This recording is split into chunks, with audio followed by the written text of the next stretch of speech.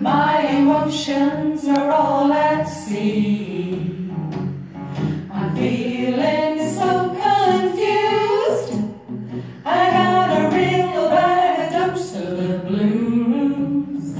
And my biological clock tick tock has come to a sudden stop. My This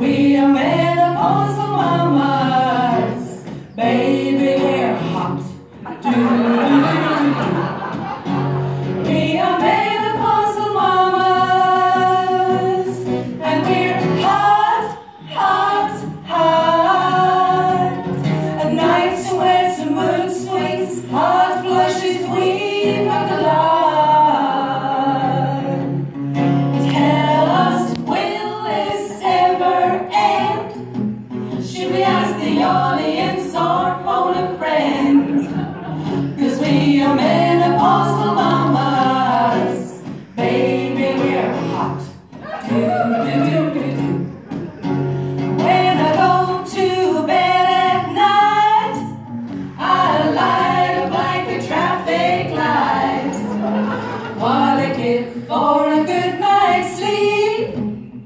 I'm fed up with counting that she. Should I ride to an agony aunt or get a hormone implant?